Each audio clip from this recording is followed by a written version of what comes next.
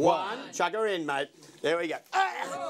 Gee. Alrighty then. Yeah. We're going to squeeze a whole lot of detergent. Will in it go? It's not going to go off now. No, no, no.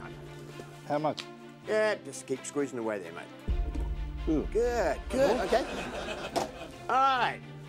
Okay, put the chemi- uh, chemical in there. Then, Chemical. It sounds safe.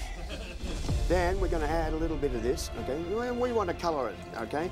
It's called, this reaction is actually called... I'll put it all in? Yep, yep.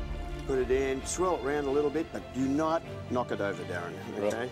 This reaction is actually called elephant toothpaste reaction, okay? They call the elephant toothpaste reaction. Mine's different to yours. Why is it called the elephant toothpaste reaction? We'll find out in just a second.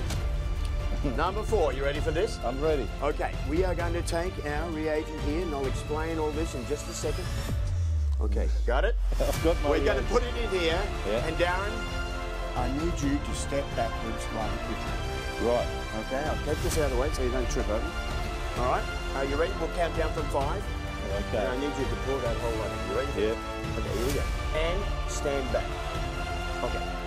Seriously. Five, Five. Four. three, Two. two, one. Chuck her in, mate. There we go. Gee. Alrighty then. Yeah.